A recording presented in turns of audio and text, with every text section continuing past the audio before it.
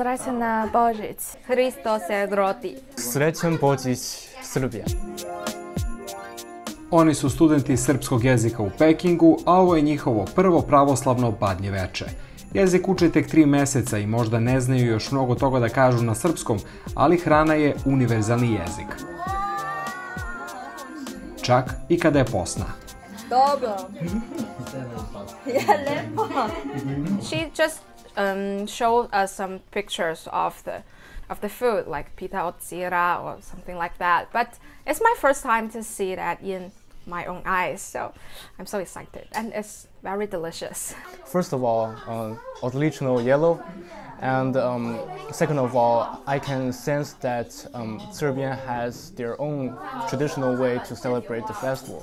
Jedemo odlično um, večera, um, the riba especially. The hleb je soft, however, it is a little bit hard, but tastes good.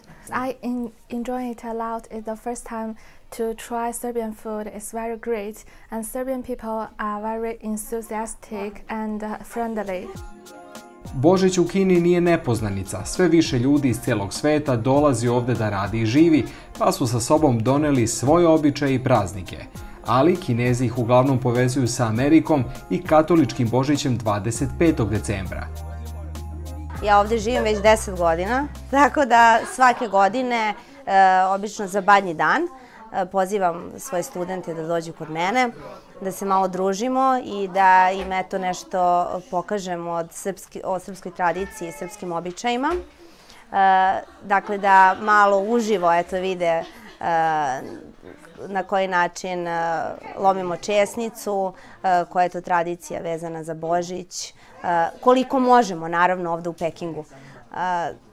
Tako, prilagodili smo se. Svake godine kod profesorke Nataše sve više gostuju za badnje veče, budući da raste broj studenta srpskog jezika u Pekingu. Ukoliko se sretnemo i sledeće godine na istom mestu, obećavaju da ćemo razgovarati na srpskom. Iz Pekinga za RTS Nemanja Milutinović. Conservadores!